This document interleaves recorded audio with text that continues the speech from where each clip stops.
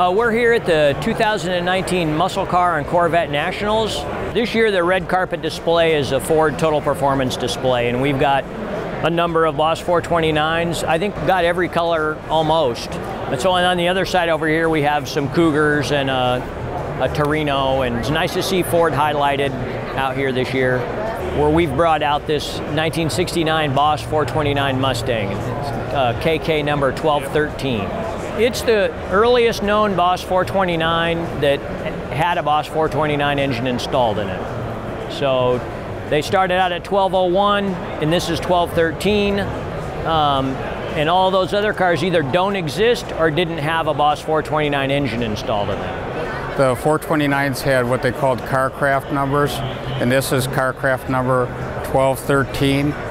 1213 was uh, a pre-production car that was two before the first street car, which was KK 1215. And uh, this is a special car because it is a pre-production car. It's the earliest known to exist that was a complete car. Recently, KK 1201 was uh, discovered, but uh, it was a an engineering car that really didn't have, didn't have, as far as we know, any Boss 429 modifications done to it. Which is first, the KK number or the serial number? You know, the car was built on the Dearborn assembly line, serial number wide. When it went to Kar Kraft, the Kar Kraft number was put in when it was finished, went out the door. The problem is they didn't keep them in line, in track. And there was 20 of each colors done first, and the first 20 black cars were the first cars done. Well, this is the first earliest one we know of, KK number wise and serial number wise. It's a 1.5, all the early cars were 150 serial numbers in a group.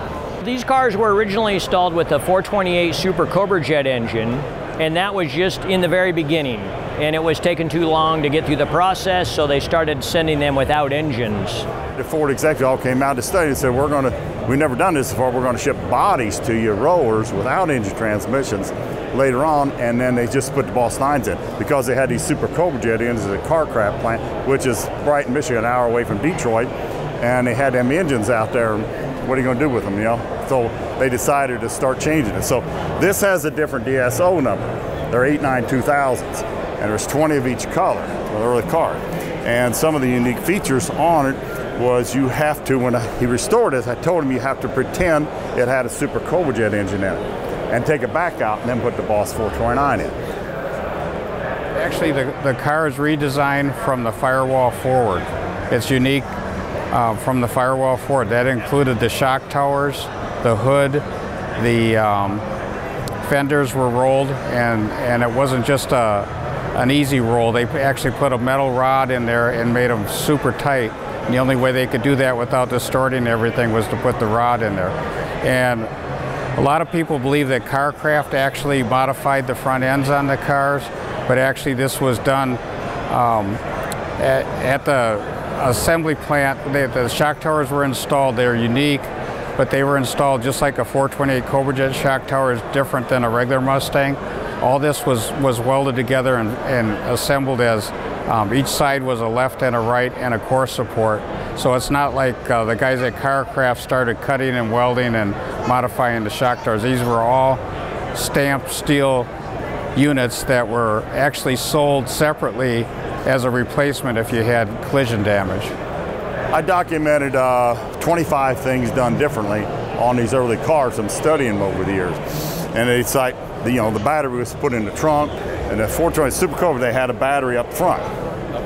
And so there's witness marks in the circles where they took the battery tray off. And on the back of the firewall was a hole in there. 420 Super Cobra Jet had iron heads. They grounded it to the firewall. These has aluminum heads. So they had to ground a block to the frame rail up here. So they grounded it differently up. And they also had a battery heat shield on the Super Cobra Jets on the starter motor. They, so they took that off and you'll see where the firewall, the insulation was sprayed there. Well, it's not there. They took off, but the witness with the marks are there yet. They had to take it off because you can't get the head to clear in there. Most of them are minor things, but you have to pretend had a Super Cobra Jet in when you're stored. They had them lift hooks front and back and had a jig so they could drop it all and they dropped it all in with the transmission all attached one time in a pit they had a pit at Kar Kraft so they could go down in there was a guy down in the pit so they could get it all done at one time So when we got this car, which was uh, I think January of this year, it was uh, done up like the, the race car it had always been. So right shortly after it was produced, it became a race car. Stayed that way all of its life until just earlier this year. And, and because this was a race car all of its life, it had the, the standard interior in it because it was lighter. See, when, when the 1213 was delivered from Kar Kraft um, to the Ford X Garage, that's where Dave Lyle picked it up, and they, it was what they referred to at Ford Motor Company a dollar car. They would they would sell the car to Dave Lyle for a dollar, and he signed a contract, and then that released them from liability on the car. But they had ownership, and then when they were done uh, using the car, they were supposed to sell it back to Ford for a dollar. And then uh, a lot of times they would make a deal where they would keep the car, and then Ford would give them the title. So it was kind of a neat program that what they refer to as a dollar car program. I saw in uh, Ohio when uh, previous owner Gary Horton, who had it many years, was still racing it at, at the Columbus weekend, and he was running the car pretty hard yet back in the in the 90s, and uh, everybody knew what it was. It was probably a lot faster when it was originally uh, a, a super stock car when Dave Lyle had it, but when Dave Lyle had it, it was the first of the Ford uh, Boss 429s that broke the 10 second barrier. My client wanted to bring it back to, you know, as built condition. So we took, you know, a, a race car basically and converted it back into an original restored car. So in doing a car like this, um, we you know, we have done several Fords and GMs and Mopars and whatnot, but a Boss 429 is really unlike any other kind of car. There's just so much to know, and the experts, uh, the two of them that I worked with, Ed Meyer and, and Bob Perkins, were both wonderfully helpful. Uh, photographs, descriptions, answering phone calls. Um, you really couldn't jump into one of these cars and turn it around in, in 11 months and have it be really all that great at all without the help of, of those experts. Gary from Level 1, he came to the shop and looked at parts and I have a couple of unrestored cars that he took pictures of that were real low numbered cars because mine's only two away, 12, 15. And we went over some of the things that were unique to the very early cars. And uh, we uh, just just communicated a lot on the phone, but I mean, level one did did all the work. I mean, they they did a great job on the car, and you know, we tried to help on some of the smaller details and some parts, but uh, level one did did the restoration. I've helped Gary on several Boss 9 because he's more of a GM shop. And I go to Colorado, Denver area, and my wife's sister lives out there, and we go out there to visit, and I go work on the car at the shop because it's just right down the road the, the toughest hurdle on any Boss 429 is, is just the amount of parts and the rarity of them and the cost of them. And so really acquiring the parts was a big hurdle. The car was in pretty good condition, uh, but we ended up buying a whole entire 69 Boss 429 Mustang to use as a parts car, uh, which is pretty unprecedented uh, to use one of those cars as a parts car, but we needed what we figured was enough parts to justify the cost. On this car here, the intake, uh, it's aluminum and it's an engineering piece. They're all aluminum, but this one we left unpainted and that shows that it's aluminum. And so we decided not to paint it. Uh, there is another car that they photographed uh, that was a prototype and it did not have a painted intake manifold. This intake, when it was uh, acquired, had never been painted blue. So we elected uh, to leave it natural aluminum. Um, and no one really knows for sure, but it seems to be that maybe some of these prototype cars didn't get the intake painted. Another special feature is the master cylinder and the booster. The booster is a different design. It's shorter and taller. They couldn't get the other ones to fit clear the heads up there. There's an aluminum wedge adapter on the back side of that that brings it up like this so it can clear the valve covers. This is also the first car to use F60 tires. The new wide, low profile tires are coming out because everybody was wanting bigger, wider tire. And it's also first to use 15 inch wheels. And but the wheels are not Ford wheels, they're Magnum 500. This is something unique too. This car was hand stamped up here, the serial numbers. All right. up here. All other cars, they're up in here. But the original cars is here, but they couldn't get into the machine to stamp it because of this outer railing up there. So apparently they started out stamping by hand. Then they later on, Ford, they started putting the uh, stamp up there. And the reason it's got two horns over here is because the oil so they had to move one horn over and they had to have a jumper wire to jump it across up there. And they had a grounding strap on the backside to support that. And the reason the hood, everybody understand, is it's a tall hood scoop. They, they were going to be using Mercury Cougar scoop, but it's smaller.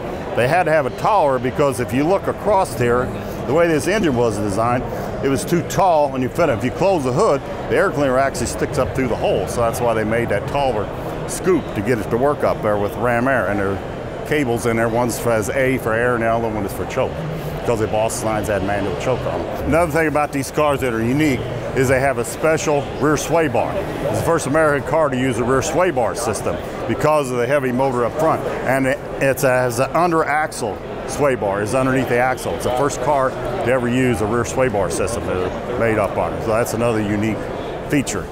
I would say another really nice thing about getting a parts car for this car uh, was getting a complete interior. So it's really difficult to get. Uh, the door panels are really tough to get. The seats with the Comfort Weave interior, and even a dash pad, because there's subtle differences, and these judges and the experts in the Mustang field really can spot, you know, instantly spot reproduction parts. So it was really key on a car this historically important to have really the best parts and pieces. Everybody always says, you know, a, a black 429 is like the uh, most desirable color. It's the rarest color, and um, everybody that's owned the car since Dave Lyle has always had the inkling to say, what, what would that car be if we put it back stock? And then when the original motor was found, the block, you know, that's, a, that's very important on these things. And it still has the original transmission with the car.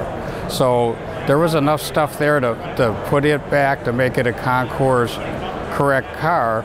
But it, originally the race race history was hard to, to get over. So it's just cool both ways. And, and, and to think that the investment that was made to buy another car to get some of the, the standard boss stuff like the seats and the interior back into it, they did it the right way. You couldn't do it more more correctly. I, I, I think it's, it's probably you know it's just a matter of opinion, but uh, they have the earliest known black Boss 429 is pretty cool, and it's a pre-production car. Whether it's a Mustang or a Hemi Cuda, if you've got the first one or the last one, that, that's always significant. And uh, I, I, just think it's good for the, the hobby that the interest it's created. You know, either way, it's it's probably got to be one of the most, if not the most significant Boss 420 Mustang that still exists. So we're going to uh, continue to, to tweak it a little bit after judging here. We'll see what the judges have to say. We'll bring it up uh, even a little bit better. And uh, hopefully we can get it out and show it at some of the other uh, Mustang events around the country.